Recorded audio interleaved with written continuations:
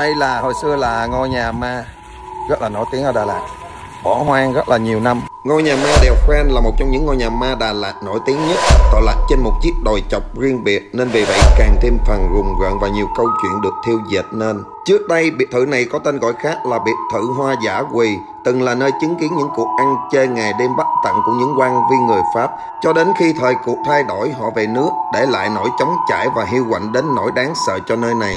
Theo lời kể của nhiều người, đây là căn biệt thự ma có nhiều năm tuổi, trải qua năm bảy đời chủ nhưng vẫn chưa có ai lâu ở nơi này chủ nhân đầu tiên của ngôi biệt thự là một tên quan chức người Pháp nổi tiếng ăn chơi một hôm, hắn mời kỹ nữ đến biểu diễn trong nhà, trong cơn thèm khát dục vọng. Hắn đã nảy sinh ý định cưỡng bức buộc cô gái phải nhảy lầu tự vẫn và hắn ném xác xuống giếng trong nhà. Đến nay vẫn có người kể lại rằng đêm đến là nghe thấy tiếng khóc tai oán vọng ra từ ngôi nhà đó.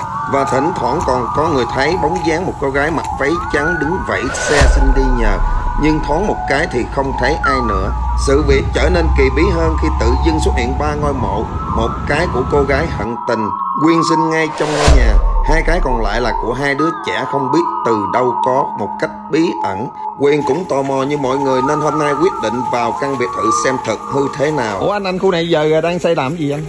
Dạ quán cà phê Hả? Quán cà phê hả? Dạ Ồ. Hình như cái này trước uh, Đó là nhà ma À, ngôi nhà ma trước. Giờ làm cà phê rồi. Dạ. Chừng nào khai trương? à, Nghe nói uh, Noel. Noel. Hèn chi trang trí đẹp quá. Chỗ này cà phê có lý à. Nhưng mà có tối rồi có ai ở lại không ta? Hả? Giờ chắc im rồi ha. Anh anh. Rồi. Anh anh hỏi mày cái vụ tâm linh gì đó chắc im hả ok. Sơn sạch sẽ, sáng sủa vậy có người ở thì chắc là không đến nỗi nào, ha. Bây giờ hiện tại là à, công nhân đang sửa chữa lại để làm cái à, khu cà phê. À.